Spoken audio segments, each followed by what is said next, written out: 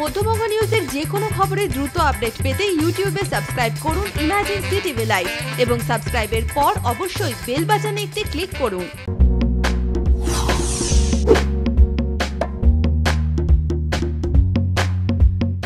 নির্বাচনী প্রচারে বেরিয়ে এর আগেও মাঝে সাঝে চায়ের কাপে চুমুক দিতে দেখা গেছে তাকে। জঙ্গিপুরের বিজেপি প্রার্থী মাফুজা খাতুনকে এদিনও দেখা গেল অভিনব কায়দায় জনসংযোগ বাড়াতে।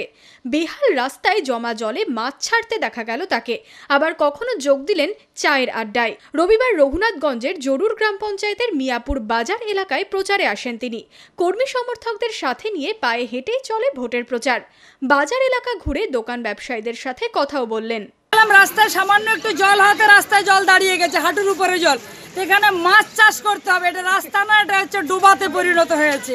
একটু বৃষ্টিতেই যদি এই রকম এই অবস্থা হয়, তাহলে যখন বর্ষাকাল, তখন কি পরিস্থিতি হয় এখানকার মানুষের? ক্রেতা, বিক্রেতা এবং পথ চলতি মানুষের কি অবস্থা?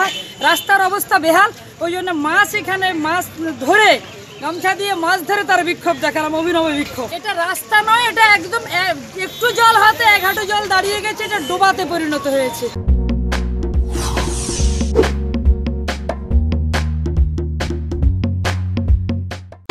মধ্যবঙ্গের ভোটের সব খবর সবার আগে আপডেট পেতে আজই আপনার স্মার্টফোনে গুগল প্লে স্টোর থেকে ইনস্টল করুন ইমাজিন সিটিভি অ্যাপটি।